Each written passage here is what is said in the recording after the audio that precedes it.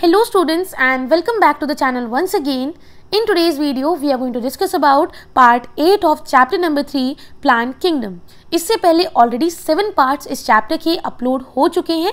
अगर आपने वो वीडियोस नहीं देखी हैं तो डिस्क्रिप्शन बॉक्स के अंदर प्लान किंगडम चैप्टर की प्लेलिस्ट का लिंक मैंने ऑलरेडी प्रोवाइड कर दिया है।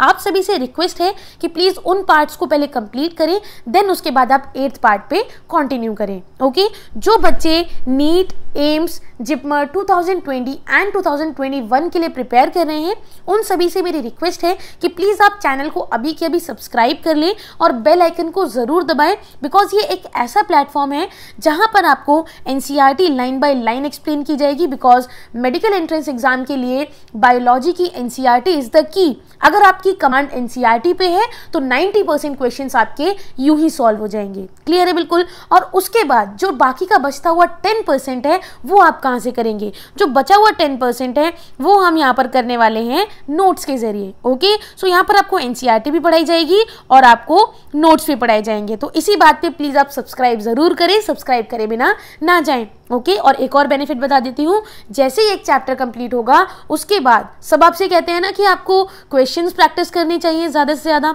और प्रीवियस ईयर क्वेश्चंस करें तो क्या ही बात है। तो गाइज़ यहाँ पर एक चैप्टर कंप्लीट होने के बाद मैं आपके लिए हर बार लेकर के आती हूँ। लास्ट 31 ईयर्स के नीट के क्वेश्चन और लास्ट 21 ईयर्स के एम्स के क्वेश्चन पर्टिकुलर चैप्टर के इन लास्ट 31 ईयर्स में जितने भी क्वेश्चंस आए होंगे एक पर्टिकुलर चैप्टर से, वो मैं एक वीडियो के अंदर इंक्लूड कर देती हूँ आपके लिए। क्लियर है? तो आपकी वो मेहनत बच जाती है और आपको सिर्फ़ ध्यान से सुनना होता है और क्वेश्चंस को सॉल्व करना होता है। सो आई होप ये इंट्रोडक्शन ज़्यादा बड़ा नहीं हुआ है। वीडियो को शुरू करते हैं बिना किसी देरी के। अब देखिए, आज के इस लेक्चर के अंदर हम पढ़ने वाले हैं एनजियोस्पर्म के बारे में। इस लेक्चर के अंदर मैंने नोट्स को इंक्लूड नहीं किया है। अब ऐसा मैंने क्यों किया? मैंने आपसे प्रॉमिस किया था कि हर एक चीज़ में नोट्स के साथ पढ़ाऊँगी। लेकिन यहाँ पर इस पर्टिकुलर टॉपिक एनजियोस्पर्म में मैंने नोट्स को इसलिए इंक्लूड नहीं किया है बिकॉज़ एनजियोस्पर्म को हम ऑलरेडी बहुत ब्रीफ में, बहुत ज़्यादा इलेबरेट करके पढ़ चुके हैं। कहाँ पढ़ा था हमने? याद है आपको? Sexual reproduction in flowering plants class twelfth का चैप्टर नंबर सेकेंड उसके अंदर हमने जो कुछ भी पढ़ा था, वो सब एनजियोस्पर्म के बारे में पढ़ा था। ठीक है? तो वहाँ पर जो भी नोट्स बने हुए थे, वो सभी आपकी हेल्प करेंगे। सारी जितनी भी नॉलेज है एनजियोस्पर्म की, उसको एक जगह पर इकट्ठा करने के लिए। क्लियर बिल्कुल? तो अगर आपको एनजियोस्पर्म के नोट्स चाहिए तो डिस्क्रिप्शन बॉक्स में अन अकेडमी प्रोफ़ाइल का लिंक मैंने दे दिया है। Of the chapter sexual reproduction in flowering plants आप जाकर के उसे ओपन कीजिए और नोट्स को डाउनलोड कीजिए। ओके सो देखिए, इस लेक्चर में पढ़ने वाले हैं एनजियोस्पर्म के बारे में। तो आप मुझे बताइए, अब तक हमने क्या पढ़ा? अब तक हमने पढ़ा एल्गे के बारे में, ब्रायोफाइटा के बारे में, टेरिडोफाइटा के बारे में, और लास्ट हमने लेक्चर में पढ़ा था जिम्नोस्पर्म के बारे में। अब जिम्नोस्पर्म क्या होते हैं? अनलाइक द जिम्नोस्पर्म अगर हम देखें जिम्नोस्पर्म्स में ओव्यूल्स नेक्ड होते हैं। जिम्नो मीन्स क्या होता है? Gymno means naked sperm botany में स्पर्म का मतलब होता है सीड तो जिम्नोस्पर्म कैसे प्लांट होते हैं? नेक्ड सीडेड प्लांट अब नेक्ड सीडेड प्लांट का मतलब क्या है? देखो नेक सीडेड प्लांट का मतलब है कि जो सीड है, वो नेक्ड है। किसी चीज़ ने उसे कवर नहीं किया हुआ है। हम जानते हैं कि जिम्नोस्पर्म में ओव्यूल यानी कि सीड नेक्ड होता है, और ओव्यूल नेक्ड क्यों होता है, आप मुझे बता सकते हैं? बिकॉज़ जो जिम्नोस्पर्म है, उसमें ओवरी एबसेंट होती है। ओवरी नहीं होती है। अगर यहाँ पर ओवरी होती तो एक कवरिंग आ जाती है ओव्यूल के लिए।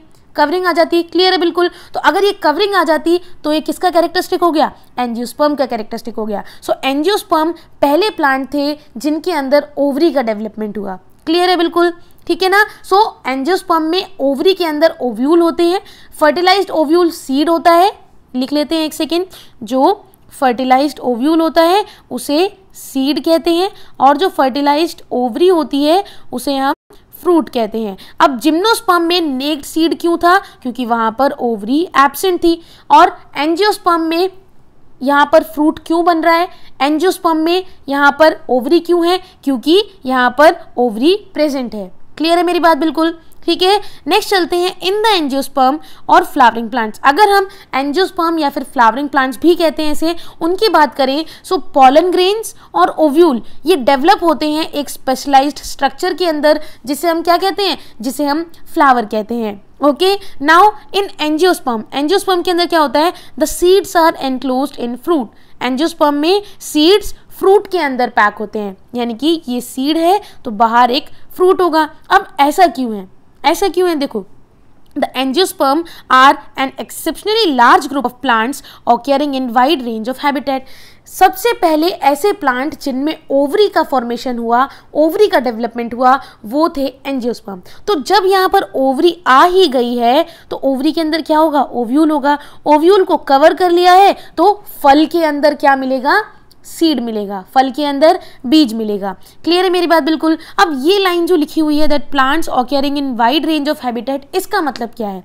एंजियोस्पर्म की खास बात ये होती है that they have the capacity of adaptation they are very well adapted plant ये ऐसे प्लांट होते हैं जो लगभग हर पॉसिबल जगह पे पाए जाते हैं। इसलिए अर्थ पे, इस धरती पे इनका राज होता है। अभी भी राज है, ठीक है? उसके बाद दे रेंज इन साइज़ इनका साइज़ अलग अलग होता है। अगर हम स्मॉलेस्ट सबसे स्मॉलेस्ट एंजियोस्पर्म की बात करें तो वो है वॉल्फिया यहाँ से एमसीक्यू बनेगा, ठीक है? ध्यान दीजिएगा, यहाँ से एमसीक्यू बनेगा नीट 2020 के अंदर, ओके? उसके बाद सबसे टॉलेस्ट ट्री यहाँ पर टॉलेस्ट एंजियोस्पर्म की बात की जा रही है। पूरे वर्ल्ड में जो टॉलेस्ट ट्री है, वो है सिकुआ पहले बताया था ना, वो क्या था? सिकुआ जो क्या है? जो एक जिम्नोस्पर्म है। पूरे वर्ल्ड का सबसे बड़ा जो पेड़ है, वो है सिकुआ जो कि जिम्नोस्पर्म है। ठीक है ना? जिसको रेड वुड ट्री भी कहा जाता है। लेकिन अगर एंजियोस्पर्म की बात करें तो एंजियोस्पर्म में जो टॉलेस्ट प्लांट है, उसका नाम है यूकिलेप्टस। क्या नाम है? यूकिलेप्टस, जिसका 100 मीटर से भी ज़्यादा बड़ा लेंथ होता है। क्लियर है बिल्कुल? दे प्रोवाइड अस फ़ूड ये क्या करते हैं? एंजियोस्पर्म हमको फ़ूड देते हैं। उसके बाद फॉडर फॉडर का मतलब चारा, पशु का चारा। ठीक है? वो देते हैं। फ्यूल देते हैं। ये हमें फ्यूल प्रोवाइड करते हैं। देन मेडिसिन मेडिसिन भी हमें एंजियोस्पर्म से मिलती है। और हमको कई सारे ऐसे कमर्शियली इंपॉर्टेंट प्रोडक्ट्स मिलते हैं। जैसे कि कॉर्क हो गया। क्या हुआ? कॉर्क हुआ ठीक है? और रबर हुआ, ये सब किससे मिलते हैं? एंजियोस्पर्म से ही मिलते हैं। उसके बाद हमने एंजियोस्पर्म को ब्रॉडली दो ग्रुप्स में डिवाइड किया है। दो ग्रुप्स कौन से हैं? डाइकॉट और मोनोकॉट। देखो, जब हमने सेक्सुअल रिप्रोडक्शन फ्लावरिंग प्लांट्स पढ़ा था, वहाँ पर भी मैंने आपको समझाया था कि डाइकॉट क्या होते हैं, मोनोकॉट क्या होते हैं। ये एक तरीके से रिविजन है। इसलिए मैंने यहाँ पर नोट्स को नहीं इंक्लूड किया है बिकॉज़ पूरा एक चैप्टर हमने एंजियोस्पर्म के ऊपर पढ़ लिया है। तो यहाँ पर नोट्स लाने का कोई फ़ायदा नहीं बनता था, हमें सिर्फ़ इस टॉपिक को कवर करना है रिविजन करनी है ओके सो यहाँ पर क्या लिखा हुआ है? That the dicotyledons are characterized by the seeds having two cotyledon देखो, जो एम्ब्रियो होता है, जो एम्ब्रियो होता है, उसके पास फ़ूड को रिज़र्व करने के लिए एम्ब्रियोनल लीफ होती है और उन एम्ब्रियोनल लीफ को हम क्या कहते हैं? कॉटिलेडन क्या कहते हैं? कॉटिलेडन अब, अगर एम्ब्रियो के पास एक कॉटिलेडन है क्लियर है बिल्कुल? एक सेकेंड अगर एक कॉटिलेडन है तो वो कहलाएगा मोनोकॉट, ठीक है? मोनोकॉट। अगर दो कॉटिलेडन है तो वो कहलाएगा डाइकॉट। क्लियर है मेरी बात? बिल्कुल। तो मोनोकॉट और डाइकॉट समझ में आया आपको। अब कॉटिलेडन क्या है? कॉटिलेडन एक एम्ब्रियोनल लीफ होती है, जो फ़ूड को इकट्ठा करती है। उनमें जो फ़ूड है, वो स्टोर होता है और फ़ूड इसलिए स्टोर होगा देखो, आप आप उससे इतना क्वेश्चन पूछ सकते हो कि फ़ूड क्यों स्टोर हुआ? फ़ूड इसलिए स्टोर हुआ ताकि जो यंग सीड सीडलिंग जो है, आगे जो नया पौधा बनेगा, उसको फ़ूड प्रोवाइड कर सकें। ओके अब यहाँ पर क्या लिखा हुआ है? That the dicot are the dicotyledons are characterized by seed having two cotyledon dicot के बीजों में दो कॉटिलेडन्स होते हैं। Okay okay? उसके बाद इनके अंदर रेटिकुलेट वेनेशन देखने को मिलता है। रेटिकुलेट वेनेशन का मतलब ये आपकी लीफ है। क्लियर है तो यहाँ पर एक जाल टाइप मिलता है। इस तरीके से आपको लीफ देखने को मिलेगी जाल के समान देखने को मिलता है। इसको कहते हैं रेटिकुलेट वेनेशन उसके बाद आ, जो टेट्रामेरस और पेंट्रामेरस फ्लावर देखने को मिलेंगे। अब ये टेंट्रामेरस और सॉरी टेट्रामेरस और पेंट्रामेरस कौन से फ्लावर है? इसका मतलब है टेट्रामेरस का मतलब कि जो ये रिंग्स हैं वो चार होंगी। पेंट्रामेरस का मतलब जो रिंग है वो पाँच होगी ठीक है ना? तो टेट्रामेरस में हमें चार रिंग देखने को मिलती है, चार मेंबर देखने को मिलते हैं, फ्लोरल होल्स में और पेंट्रामेरस में पाँच रिंग देखने को मिलती हैं, ठीक है? अब ये जो होल है, फ्लोरल होल यहाँ पे लिखा हुआ है हैविंग फोर और five member in each floral whorl इसका मतलब क्या है? फ्लोरल होल का मतलब होता है फ्लावर की रिंग जैसे कि हमने पढ़ा था कैलिक्स कोरोला याद है ना सेक्सुअल रिप्रोडक्शन फ्लावरिंग प्लांट्स में हमने पढ़ा था फ्लावर के जो पार्ट्स थे कैलिक्स कोरोला एंड्रोशियम गाइनोशियम ये क्या थे? ये सब एक रिंग थे। क्लियर है? होल का मतलब होता है रिंग ओके तो हर एक रिंग पे अलग अलग डिवीज़न है। अगर टेट्रामेरस फ्लावर है तो कैलिक्स पे चार ऐसे होंगे, ठीक है ना?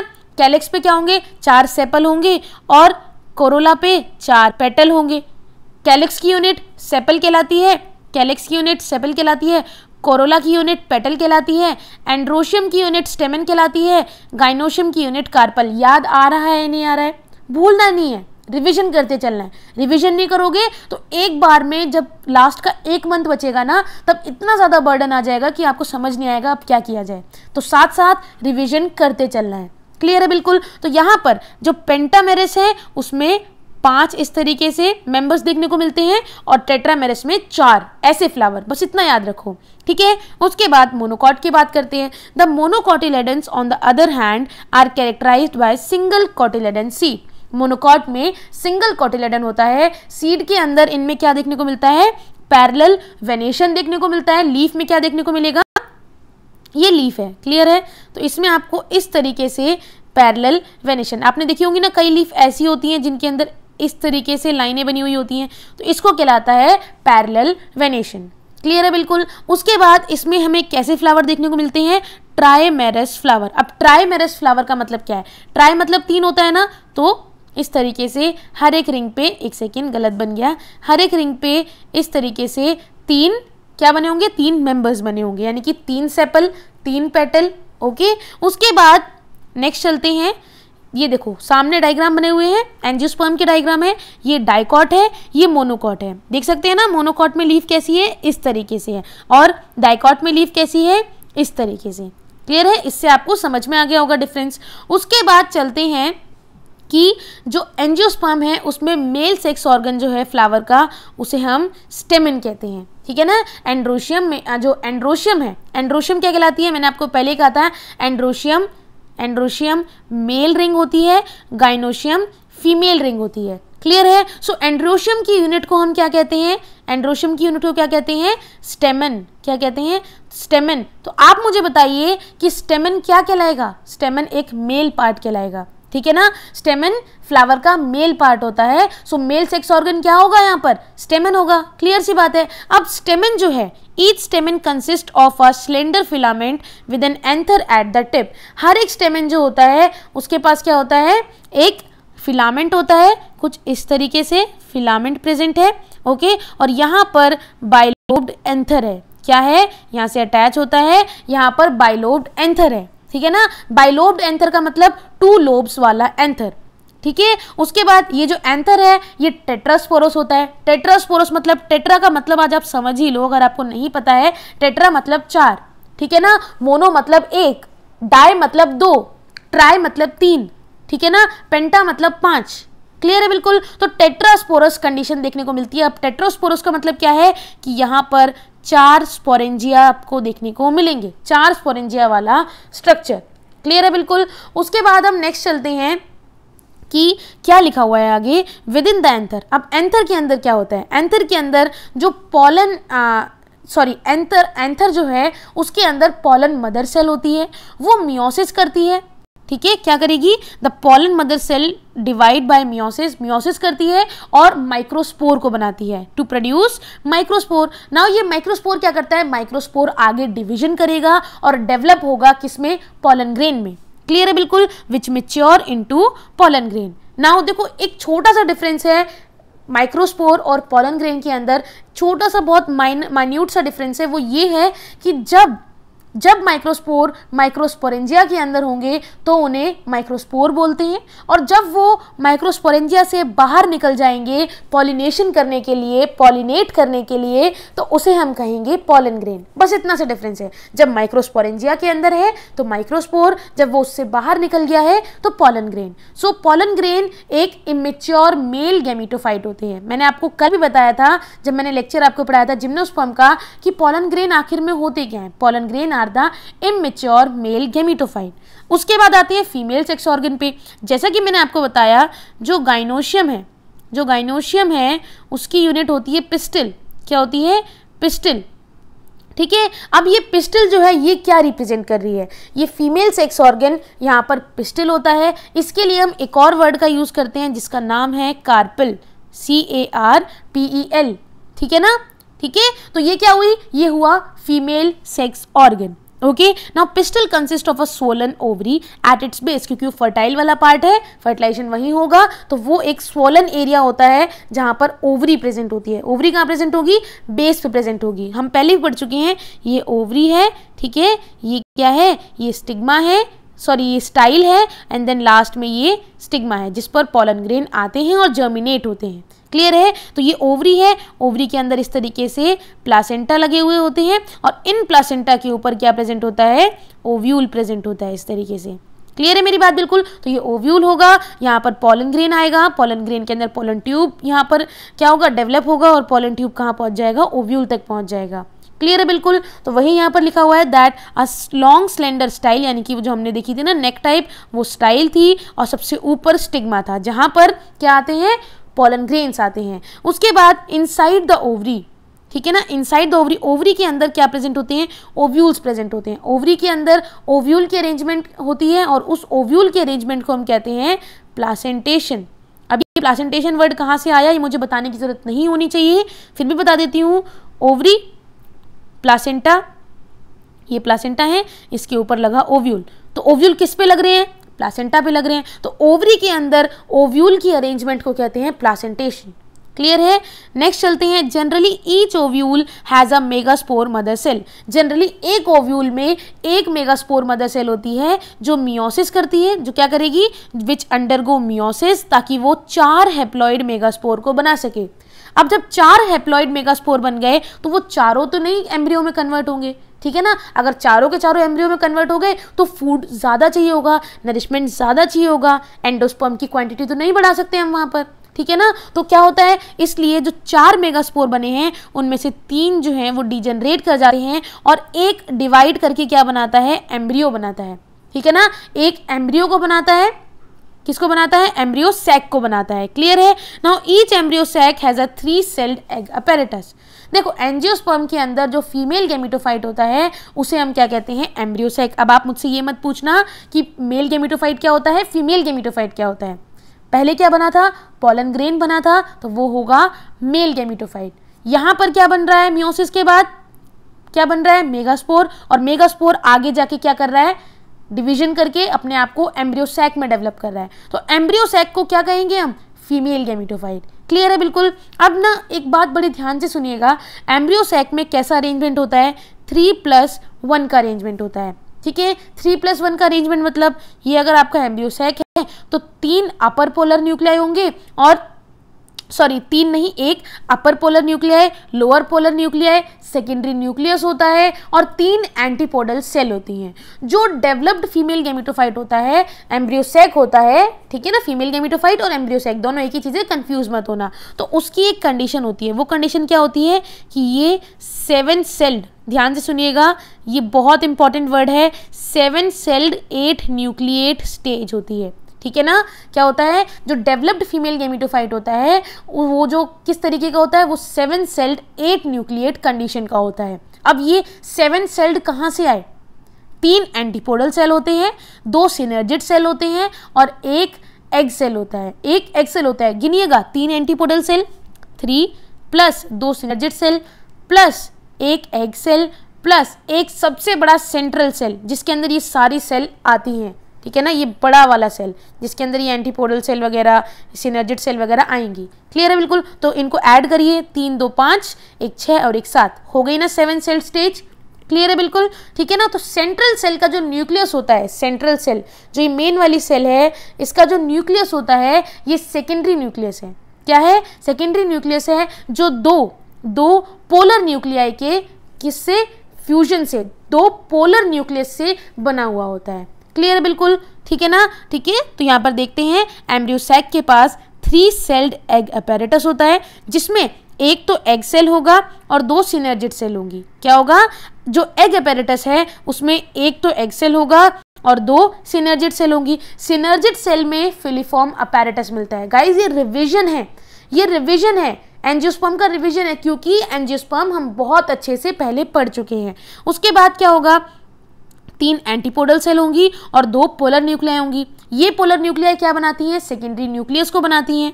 ओके नेक्स्ट चलते हैं। The polar nuclei eventually fuse to produce a diploid secondary nucleus यही हमने पढ़ा है ना कि पोलन जो न्यूक्लियाई है सॉरी जो पोलर न्यूक्लियर है, वो सेकेंडरी न्यूक्लियस को बनाता है। क्लियर है? Now pollen grain after dispersal from the anther are carried by wind or various other agencies to the stigma of a pistil फिर pollen grain anther से बाहर निकलता है जब आपका पोलर न्यूक्लियर क्रिएट हो चुका है सेकेंडरी न्यूक्लियस बन चुका है तो क्या होगा? जो पोलन ग्रेन है, वो एंथर से बाहर निकलेगा और हवा के थ्रू या फिर इंसेक्ट के थ्रू क्या होगा? पॉलिनेट होगा। सी जब पोलन ग्रेन एंथर से बाहर निकलता है तो उसे स्टिग्मा तक पहुँचना है। वो खुद तो पहुंचेगा नहीं, किसी मीडियम की हेल्प लेगा तो वो मीडियम विंड भी हो सकता है और इंसेक्ट भी हो सकता है। So the transfer of pollen grain from anther to stigma is known as pollination ठीक है ना? So it is termed as pollination वही लिखा हुआ है ना कि the transfer of pollen grain जब पॉलन ग्रेन बाहर निकला है तो उसको किसी ना किसी तरीके से स्टिग्मा तक पहुँचना है ताकि वो जर्मिनेट कर सके। क्लियर है बिल्कुल? फर्टिलाइजेशन हो सके। तो कैसे पहुंचेगा? किसी ना किसी मीडियम के थ्रू पहुंचेगा और वो मीडियम हो सकता है विंड वाटर इंसेक्ट कुछ भी। क्लियर है मेरी बात बिल्कुल? उसके बाद नेक्स्ट चलते हैं. The pollen grains germinate on the stigma pollen grain क्या करते हैं? उसके बाद जैसे वो अब पॉलिनेशन हो चुका है. जो पॉलन ग्रेन है, वो स्टिग्मा तक पहुँच चुके हैं. अब क्या होगा? पॉलन ग्रेन स्टिग्मा पर जर्मिनेट करते हैं. याद है हमने पॉलन पिस्टल इंट्रैक्शन पढ़ा था? मीन्स अब पॉलन पिस्टल इंट्रैक्शन का मतलब जो इन बच्चों को नहीं याद है, उनको एक बार रिवाइज करा दूँ, लेकिन ये बहुत गलत बात है कि आप लोग रिवाइज नहीं करते हो। प्लीज़ एक बार रिवाइज ज़रूर कर लीजिए अदरवाइज़ लास्ट में बहुत ज़्यादा दिक्कत होने वाली है, क्योंकि एक साथ आएगा सारा सिलेबस और आपको एक ही दिन आपको एग्ज़ाम देना है और तीन ही घंटे का एग्ज़ाम होने वाला है तो एक साथ इतनी सारी नॉलेज कैसे साथ में रखोगे? तो इसलिए टाइम टू टाइम रिवाइज करते चलो। तो पोलन पिस्टल इंट्रैक्शन हमने जो पढ़ा था, उसमें हमने क्या पढ़ा था कि पोलन ग्रेन और स्टिग्मा इन दोनों के बीच में केमिकल डायलैक होता है, जिससे कि वो न्यूट्रिशन प्रोवाइड करता है। कौन न्यूट्रिशन प्रोवाइड करेगा? कौन प्रोवाइड करेगा? स्टिग्मा किसको प्रोवाइड करेगा? पोलन ग्रेन को। ठीक है ना? तो जब जब पॉलन ट्यूब यहाँ पर पॉलन ग्रेन को क्या मिलेगा? जब पॉलन ग्रेन को न्यूट्रिशन मिलेगा तो क्या डेवलप होगी? ये पॉलन ग्रेन है, इसको प्रॉपर न्यूट्रिशन मिला तो इसमें क्या बन जाएगी? पॉलन ट्यूब बन जाएगी। क्या बन जाएगी? पॉलन ट्यूब डेवलप हो जाएगी। इसलिए हमेशा जो कंपैटिबल पॉलन ग्रेन है, वही जर्मिनेट हो पाते हैं। और क्यों हो पाते हैं? इसका जो पूरा जो साइंटिफिक मेथड है, पूरा जो रीज़न है, हम ऑलरेडी पढ़ चुके हैं। ओके फिर भी बता देती हूँ कि कंपैटिबल पॉलन ग्रेन इसीलिए जर्मिनेट होता है बिकॉज़ स्टिग्मा अपने पॉलन ग्रेन को पहचानती है। ठीक है ना? उसे पता है कि कौन सा पॉलन ग्रेन उसकी स्पीशीज का है और कौन सा नहीं है। क्योंकि स्टिग्मा और पॉलन ग्रेन के बीच में केमिकल डायलैक होता है और उसी की वजह से स्टिग्मा जो है सही पॉलन ग्रेन को पहचान पाती है। उसके बाद it will result in pollen tubes growth ठीक है ना? जब पॉलन ग्रेन जो है जर्मिनेट होगा स्टिग्मा पे और अगर वो सही पोलन ग्रेन है तो स्टिग्मा उसे न्यूट्रिशन देगी और वो पॉलन ग्रेन क्या डेवलप करेगा? पोलन ट्यूब को डेवलप करेगा। ठीक है ना? उसके बाद, अब क्या होगा? Finally it will reach the ovule style से होता हुआ, ये आपका क्या था? एक सेकेंड ये आपकी स्टिग्मा थी। ये स्टाइल और लास्ट में ओवरी। अब स्टिग्मा पर तो आ गया पोलन ग्रेन, जर्मिनेट भी हो गया। अब क्या होगा? उस पॉलन ग्रेन में पॉलन ट्यूब निकलेगी और पोलन ट्यूब स्टाइल से होती हुई कहाँ पहुँच जाती है? ओव्यूल के अंदर पहुँच जाती है। Now the pollen tube enter the embryo sac finally pollen tube grow करेगी और एम्ब्रियोसेक तक पहुंचेगी। क्लियर है बिल्कुल? अब वहाँ पर क्या है? अब वहाँ जाके दो मेल गैमीट को डिस्चार्ज करेगी, ठीक है ना? जो एम्ब्रियोसैक है where the two male gametes are discharge pollen tube क्या कैरी करती है? याद रखिएगा पॉलन ट्यूब दो मेल गैमीट को कैरी करती है। पॉलन ट्यूब में जो जनरेटिव सेल होता है, दो सेल होते थे ना? ये सेल है जनरेटिव सेल और वेजिटेटिव सेल जनरेटिव सेल क्या करती है? जनरेटिव सेल डिवाइड करती है और दो मेल गैमीट को बनाती है। जिनमें से जिनमें से एक मेल गैमीट एक मेल गैमीट क्या करेगा? अपने आप को फर्टिलाइज करेगा किसके साथ? एग के साथ। और जो दूसरा मेल गैमीट है, दूसरा मेल गैमीट है, वो क्या करेगा? The other male gamete will fertilize the secondary nucleus वो किसको फर्टिलाइज करेगा? सेकेंडरी न्यूक्लियस को फर्टिलाइज करेगा। तो जो एग को फर्टिलाइज किया है, वो क्या बन जाएगा? सो जब एक मेल गैमीट ने एग को फर्टिलाइज किया तो क्या बनेगा? जब एक मेल गैमीट एग को फर्टिलाइज करेगा तो बनेगा, एक सेकेंड तो बनेगा जाइगॉट क्लियर है मेरी बात? बिल्कुल. जो दूसरा मेल गैमीट था, जिसने सेकेंडरी न्यूक्लियस को फर्टिलाइज किया, वो बनाएगा प्राइमरी एंडोस्पर्म न्यूक्लियस। क्लियर बिल्कुल? जिसको पीई एन पेन भी कहते हैं। अब जो प्राइमरी एंडोस्पर्म न्यूक्लियस बनेगा, वो कैसा बनेगा? वो ट्रिप्लॉइड बनेगा थ्री एन कंडीशन में बनेगा। और जो जाइगॉट बना है, वो टू एन कंडीशन में होता है डिप्लॉइड कंडीशन में होता है। ये जो प्राइमरी एंडोस्पर्म न्यूक्लियस है, यही है वो पार्ट जो डिवाइड करके क्या बनाता है? एंडो स्पर्म को बनाता है। किसको बनाता है? एंडोस्पर्म को बनाता है। ठीक है ना? सो so, एंडोस्पर्म का फॉर्मेशन कैसे होता है? प्राइमरी एंडोस्पर्म न्यूक्लियस जो है वो डिवाइड करेगा और किसको बनाएगा? एंडोस्पर्म को बनाएगा। इसलिए एंजियोस्पर्म में एंडोस्पर्म एक पोस्ट फर्टिलाइजेशन देखो पहले फर्टिलाइजेशन हुआ ठीक है ना? पहले मेल गैमीट ने एग को फर्टिलाइज किया और मेल गैमीट ने सेकेंडरी न्यूक्लियस को फर्टिलाइज किया। तो जब फर्टिलाइजेशन हो गया उसके बाद वाले इवेंट में बन रहा है एंडोस्पर्म तो एंजियोस्पर्म में क्या बनता है? एंडोस्पर्म एक पोस्ट फर्टिलाइजेशन टिश्यू होता है, जो कैसा होता है? एक थ्री एन कंडीशन में, यानी कि ट्रिप्लॉइड कंडीशन में। ओके? सो वही यहाँ पर लिखा भी हुआ है, देख लेते हैं एक बार। Now, the other male gamete will fuse with the diploid secondary nucleus, ताकि वो एक ट्रिप्लॉइड प्राइमरी एंडोस्पर्म न्यूक्लियस बना सके।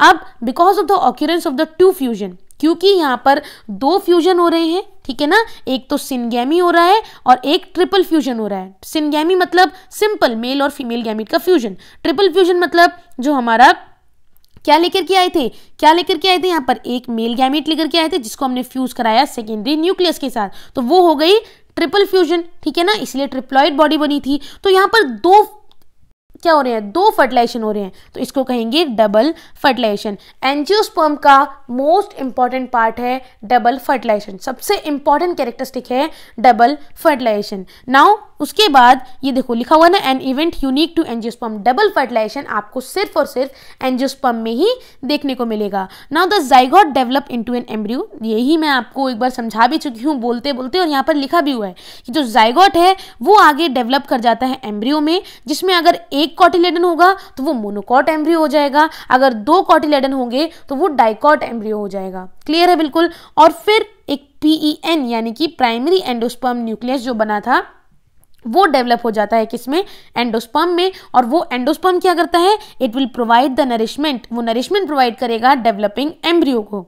क्लियर बिल्कुल। नाउ जो सिनर्जिड हैं और एंटीपोडल्स हैं, वो क्या करेंगे? फर्टिलाइजेशन के बाद डिजनरेट हो जाते हैं। अब आप यही पूछ रहे होगे ना, वो सिनर्जिड प्रेजेंट थे मैम वो एंटीपोडल सेल प्रेजेंट थे, इन सब का क्या हुआ? जब ओवरी कन्वर्ट हो गई फ्रूट में ओव्यूल कन्वर्ट हो गया सीड में तो ये बाकी के सेल्स का क्या हुआ? वो डिजनरेट हो गए। फर्टिलाइजेशन के बाद सिनर्जिड सेल और एंटीपोडल सेल क्या होते हैं? डिजनरेट हो जाते हैं। उसके बाद during these events the ovule develop into seed in events के टाइम पे ओव्यूल सीड में डेवलप हो जाता है सीड में कन्वर्ट कन्वर्ट हो जाता है और ओवरी फ्रूट में कन्वर्ट हो जाती है। ठीक है? सो एंडो का मतलब क्या होता है? आप मुझे बता सकते हो? एंडोस्पर्म जो अभी हमने पढ़ा, इसका मतलब क्या है? एंडो मीन्स अंदर। एंडो मीन्स अंदर। स्पर्म मतलब सीड अब क्या हुआ? इससे आप कुछ कोड कर सकते हो इस चीज़ को? देखो सीड के अंदर वो टिश्यू जो डेवलपिंग एम्ब्रियो को फ़ूड प्रोवाइड करता है, उसे बोलते हैं एंडोस्पर्म क्लियर है मेरी बात? बिल्कुल। ठीक है? अब यहाँ पर लिखा हुआ है the life cycle of an angiosperm is shown here ये लाइफ साइकिल है जो बहुत ज़्यादा ईजी है। ठीक है? शुरुआत करें, याद हो जाएगी आपको। आई प्रॉमिस आपको लाइफ साइकिल याद हो जाएगी। बस आप सुनते रहिएगा बड़े ध्यान से और जो बोल रही हूँ उसको या तो ड्रॉ कर लीजिए या फिर लिख लीजिए। ठीक है? शुरुआत करते हैं यहाँ पर मेन प्लांट बॉडी से। ये है स्पोरोफिटिक मेन प्लांट बॉडी कैसी होती है? स्पोरोफिटिक होती है, यानी कि टू एन होगी। ओके उसके बाद नेक्स्ट क्या बना हुआ है? यहाँ पर देखिए, ये है फीमेल पार्ट ये है male part male part anther है और फीमेल पार्ट पिस्टल है या फिर कार्पल है. तो उसके बाद क्या है? मेल पार्ट से क्या बनेगा? मेल पार्ट से माइक्रोस्पोरेंजियम बनेगा. क्लियर है बिल्कुल? तो माइक्रोस्पोरेंजियम में क्या बनते हैं? बता सकते हो? चार माइक्रोस्पोर बनते थे. माइक्रोस्पोरेंजियम में चार माइक्रोस्पोर बनते हैं. क्लियर है। और यहाँ पर क्या है? जो फीमेल पार्ट है, उससे मेगास्पोरेंजियम यानी कि ओव्यूल बना और उस ओव्यूल से क्या बनेगा? एक, क्योंकि चार मेगास्पोर बनते हैं। चार में से एक क्या होता एक सर्वाइव कर पाता है और बाकी के तीन डिजनरेट कर जाते हैं। तो एक मेगास्पोर क्या बनेगा? आगे जाके एग बनेगा। क्लियर है मेरी बात? बिल्कुल। यानी कि फीमेल गेमिटोफाइट बनेगा। ओके? नाउ जो माइक्रोस्पोर है, ये माइक्रोस्पोर जो है, ये पॉलन ग्रेन है। क्या है? पॉलन ग्रेन है। ये मेल गैमिटोफाइट बनाएँगे। क्या बनाएँगे? ये मेल गैमिटोफाइट बनाएँगे। इसमें ये क्या करेंगे? जब मेल गैमिटोफाइट बन गया माइक्रोस्पोर माइक्रोस्पोर पॉलिग्रेन ने मेल गैमिटोफाइट को बनाया। अब ये मेल गैमिटोफाइट क्या करेगा? मेल गैमिटोफाइट जा करके एग को क्या करेगा? बिल्कुल सही फर्टिलाइज करेगा। देखो गैमीट दिख रहे हैं ना, दो गैमीट एक गैमीट ये रहा, एक ये रहा, ठीक है ना? एक गैमीट ने जिसने एग को यहाँ पर फर्टिलाइज किया, उसने तो बना लिया जाइगॉट क्लियर है? उसने जाइगॉट को बना लिया और जाइगॉट से एम्ब्रियो बन गया। क्लियर है? तो ये एक लाइफ साइकिल यहाँ पर आकर के एंड हो गई। क्लियर है मेरी बात? बिल्कुल। देखो माइक्रोस्पोरेंजियम था, ठीक है? माइक्रोस्पोरेंजियम से माइक्रोस्पोर बने। माइक्रोस्पोर क्या है? तीन तो डिजनरेट हो गए, एक बचा। ठीक है तो माइक्रोस्पोर उसके बाद माइक्रोस्पोर का नाम क्या है? Pollen grain it is a male gametophyte clear है? तो मेल गैमिटोफाइट के पास क्या है? दो गैमीट है। वो दोनों गैमीट में से एक गैमीट एग को फर्टिलाइज करता है, दूसरा सेकेंडरी न्यूक्लियस को फर्टिलाइज करता है। जिसने एग को फर्टिलाइज किया होगा, वो जाइगॉट बनेगा। ठीक है? जाइगॉट आगे डेवलप होकर एम्ब्रियो बन जाता है। अब देखो, यहाँ पर ये जो अब ये चीज़ समझ में आ गई होगी ना, किस तरीके से एग बना, क्या हुआ लाइफ साइकिल समझ में आ गई। लेकिन यहाँ पर एक चीज़ देखने वाली ये है कि आप देख सकते हैं, ये वाला पार्ट इधर वाला जो पार्ट है ये पूरा, ये गैमिटोफाइट जनरेशन को शो करता है और इधर वाला पूरा पार्ट स्पोरोफाइट जनरेशन को शो करता है। तो आप मुझे बताइए कौन सा जनरेशन यहाँ पे बड़ा है? गैमिटोफाइट बड़ी है या स्पोरोफाइट लाइफ साइकिल में यहाँ पर डिप्लॉयड जनरेशन है, यानी कि टू एन स्पोरोफाइट वाली कंडीशन जो है स्पोरोफाइट वाली जनरेशन ज़्यादा डोमिनेंट है। क्लियर है? तो एंजियोस्पर्म की लाइफ साइकिल में जो जनरेशन है, वो डिप्लॉयड जनरेशन होती है, वही यहाँ पर डोमिनेंट होती है। और हेप्लॉयड जनरेशन बहुत छोटे से टाइम के लिए होती है, और वो टाइम क्या है? वो टाइम है सिर्फ़ और सिर्फ़ गेमिटोफाइट के बनने वाला टाइम क्लियर है बिल्कुल? सो एक बहुत छोटा सा टाइम होता है हेप्लॉयड जनरेशन का, जो कि सिर्फ़ गैमिटोफाइट के रूप में ही प्रेजेंट होता है। अदरवाइज़ सारा काम जो है, वो टू एन कंडीशन में ही हो रहा है। इसलिए एंजोस्पर्म की life cycle diplontic life cycle कहलाती है। डिप्लॉन्टिक का मतलब कोई मुझे बता सकता है?